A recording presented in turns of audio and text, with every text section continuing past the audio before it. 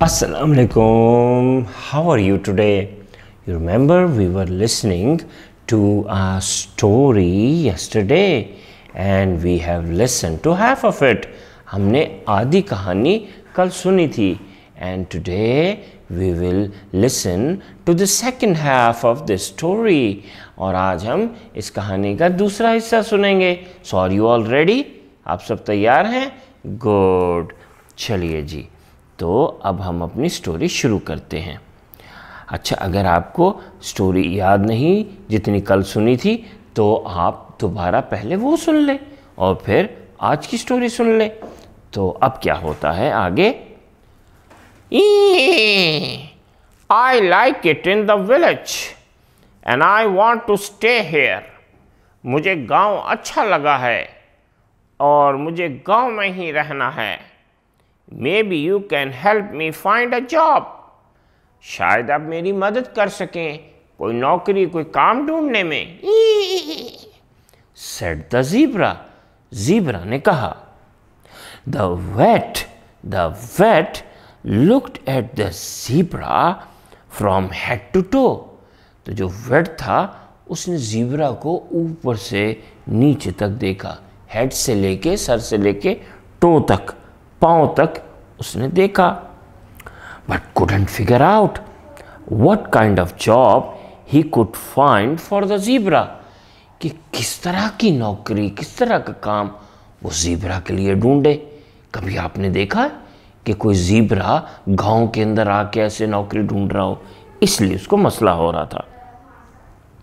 Can you make a vase asked vet vet ने पूछा, क्या आप कोई गुलदान बना सकते हैं जिसके अंदर फूल रखते हैं?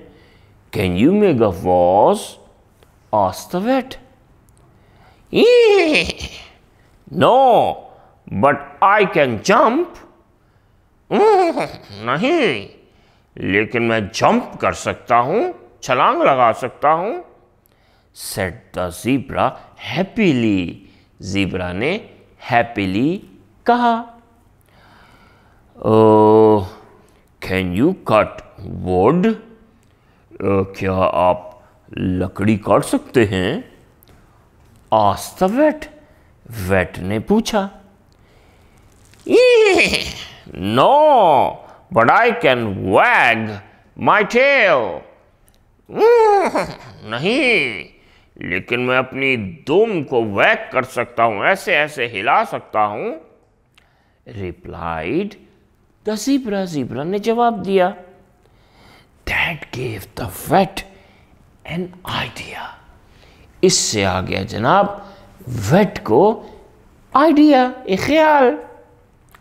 He called the zebra near the, wind, the window and said, He called the zebra near the window and said, तो वेट ने जीब्रा को विंडो के खिड़की के पास बुलाया और कहा then you can do window washing तो फिर आप खिड़कियाँ साफ़ कर सकते हैं।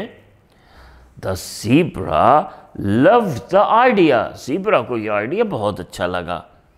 Of washing windows windows wash करने का and took up his new job और उसने ये नई नौकरी, ये काम शुरू कर दिया। Now don't you get surprised अच्छा अब आप हैरान मत होना।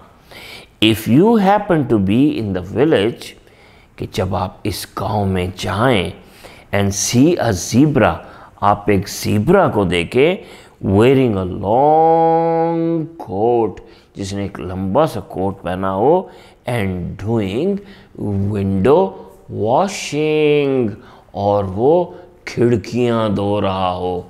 वाओ जीब्रा लंबा सा कोट पहन के खिड़कियाँ धो रहा हो। विंडो वॉशिंग चलिए जी, आपने स्टोरी सारी सुन ली, आपने ये पूरी स्टोरी इसको याद करके उर्दू में सुनाना है। और फिर कोशिश करना कि आप इसको इंग्लिश में भी सुनाएँ। अल्लाह हाफिज़।